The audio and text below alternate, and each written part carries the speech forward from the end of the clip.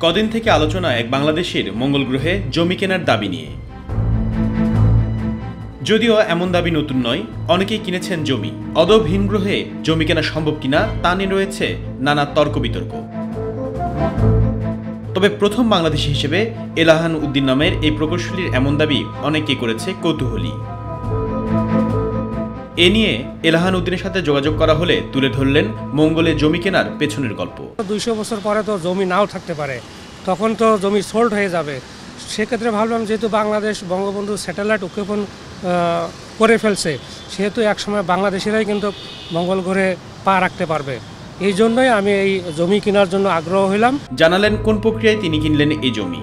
দেখালেন মঙ্গলে জমি বিক্রি করা প্রতিষ্ঠানের কাছ থেকে আসা দলিল আর ম্যাপে সেই জমিটির অবস্থান। তিনজন মার্কিন প্রেসিডেন্ট তার কাছ থেকে কিনেছে। তার ফলে আমি অথেন্টিক মনে করছি, যেহেতু প্রেসিডেন্ট এখানে কিনতে পারে, সেহেতু আমি কিনলে তো অসুবিধা হওয়ার কথা না। ডেনিস হোপ নামের এক ব্যক্তির প্রতিষ্ঠান থেকে তিনি মঙ্গলে এই জমি কিনেছেন। যেখান থেকে সাবেক তিন মার্কিন প্রেসিডেন্টও কিনেছিলেন. শুধু মঙ্গলে নয় চাঁদেও জমি কেনার কথা জানিয়েছেন সাতক্ষীরার শ্যামনগর উপজেলার পাতাখালী গ্রামের দুই বন্ধু এস এম শাহিন আলম ও শেখ শাকিল। ওই একই প্রতিষ্ঠান থেকে মাত্র পঞ্চান্ন ডলার দিয়ে জমি কেনার দাবি তাদেরও। বাংলাদেশ থেকে এখন পর্যন্ত কেউ এখন অবধি চাঁদে জমি কিনিনি। তো সেখানে আমরা দুই বন্ধু চিন্তা ভাবনা শুরু করি। পরবর্তীতে যোগাযোগ করি আহ, লুনার এম্বাসি নাম করে একটি যারা চাঁদের জমি বিক্রি করে তাদের সাথে এবং তাদের কাছ থেকে মূলত আমরা কিনেছি এক একর জমি কিনেছি পঞ্চান্ন ডলারের বিনিময়ে। একইভাবে চাঁদে কিংবা মঙ্গলে জমি কেনার নজির রয়েছে অনেক সেলিব্রিটিদের। এমনকি সম্প্রতি আস্ত গ্রহ কেনার কথা জানিয়েছেন গায়ক গ্রাইমস ও র্যাপার লিল উজিভার্ট। তবে অদৌ কি তা সম্ভব? উনিশশো সাতষট্টি সালে সাতাশ জানুয়ারি এ সংক্রান্ত একটি আন্তর্জাতিক চুক্তি করে সোভিয়েত ইউনিয়ন, মার্কিন যুক্তরাষ্ট্র ও যুক্তরাজ্য। চুক্তিতে বলা হয়, পৃথিবীর বাইরে মহাশূন্যে যেসব বস্তু রয়েছে সেগুলো কোনো দেশ দখল বা নিজেদের একক সম্পত্তি হিসেবে দাবি করতে পারবে না। যে চুক্তিতে এ পর্যন্ত একশো দশটি দেশ স্বাক্ষর করেছে।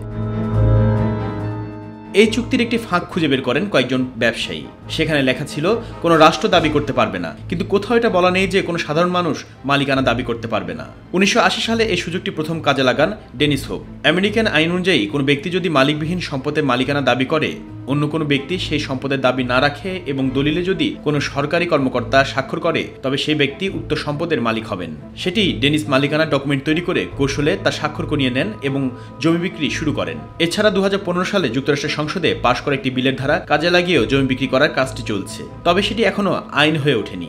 তবে এটি কি শুধু যুক্তরাজ্যের নাগরিকদের জন্য প্রযোজ্য, নাকি অন্য রাষ্ট্রের নাগরিকরাও কিনতে পারবেন, তা নিয়েও রয়েছে নানা যুক্তি। সম্পত্তি বা যে দেশের জমি আপনি কিনবেন, সেই দেশের আইনটা প্রযোজ্য হবে। এখানে স্ট্যান্ড হ্যাঁ এখানে কারও মালিকানা কোনোদিন আইন বা থাকার পরিবেশ কোনোদিন সৃষ্টি হওয়ার সম্ভাবনা নাই।